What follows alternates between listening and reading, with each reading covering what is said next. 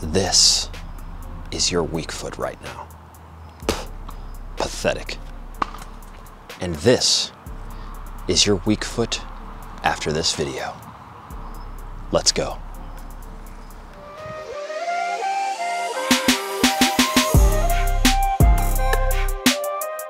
Today we've got why your weak foot is no good, how to train it, and how to maintain it. Now, the first thing you need to know is that if you don't use it, you lose it.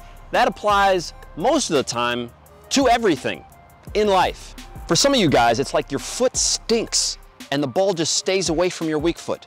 Not today. There are five points, five exact points that you have to take care of if you want your weak foot to be better. And the very first one is balance. Follow me on this. Your ability to balance on your weak foot is actually great because you're always using your strong foot, which means that your weaker foot is balancing everything for you.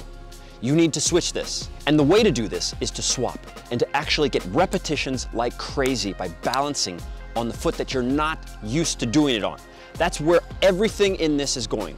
It's about repetitions. It's not only about repetitions, but the best thing you can do is start to hop, move, dance on the ball, left and right, moving backwards mainly. If you move forwards with the ball while standing on one foot, it's pretty awkward. We don't really do that. The best way to do this is to back up, one foot on the ball, keep your foot on the top, dance, move left, right.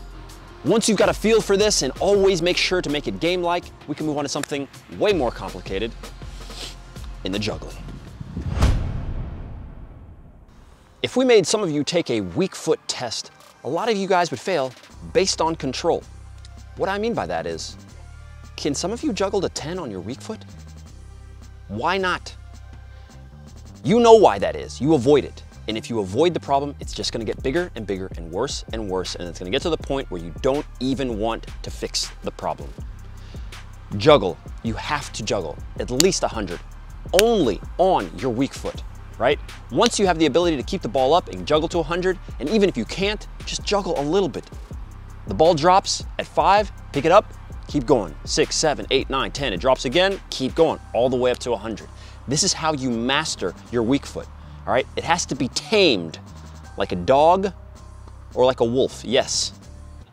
Will John has tamed a wolf before, just like you are going to tame your weak foot by juggling to 100. The one thing you know that will give you 1,000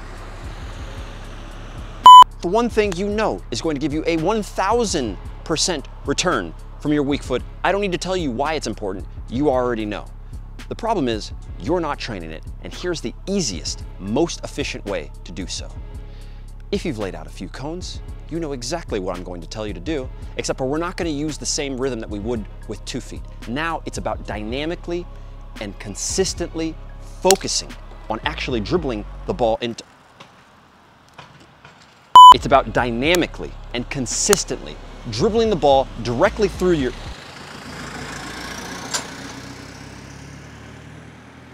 What you want to do during these dribbling series is forget completely that you have a strong foot. Your weak foot is now your dominant foot.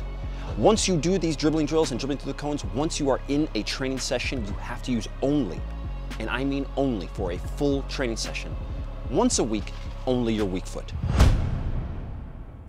Developing new skills is an absolute must with your weak foot. Why? Because the game is built on creativity. And instead of trying to do exactly what you do with your strong foot, you have to change. This is your weak foot. It's different opportunities. You'll have different sensations. You'll have a different understanding of the game. For instance, the hocus pocus. You guys know the move. My left foot doesn't want to do that skill. If I go to do the hocus pocus, it has to be with my right foot. And so when you are looking to develop your new skills, your new abilities, don't go there with the same mentality of your strong foot. It's a different situation. Take five to 10 skills that you normally wouldn't do. Try practicing these with your weak foot and watch as you've opened up new pathways in the brain. That's called neuroplasticity. Jesus Christ, I'm smart. Let's just go to the next one. Shooting. The part of the game that you probably wanted us to start with, it's the last. Not because it's not important, but because if you don't take care of the other things, you won't ever get a chance to shoot and score, my friends. It is important. The number one issue most players have is locking their ankle with their weak foot. When they go to shoot, it looks like the limp fish. You got that limp fish shot. You don't wanna have a limp fish shot. Who wants to have that? Nobody. Lock your ankle. That's the very first thing. Obviously, we're gonna need to have repetitions. You wanna start off small. You need more repetitions. You don't need to start way out there, hitting the ball as hard as you possibly can. No, get in close to the net, tap the ball out wide, make sure that the mechanics are correct. The most important thing in shooting is your technique. Make sure that it's right. Run through the steps, tap the ball out, smack it. Boom, right off the net, get it back again, tap, again, and again, and again. That, my friends, is how you take your weak foot from no good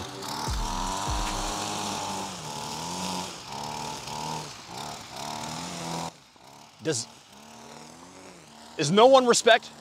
Does no one does no no nobody just respects that I'm filming out here like I'm not like I'm not a star, huh? They only do it when J Mike's around. Everybody's quiet because it's J Mike. Now that you've converted your pathetic weak foot into this, it's time for you to like, comment, and subscribe. Check out that description box for everything from us here at Unisport. And we, my friends, will see you later.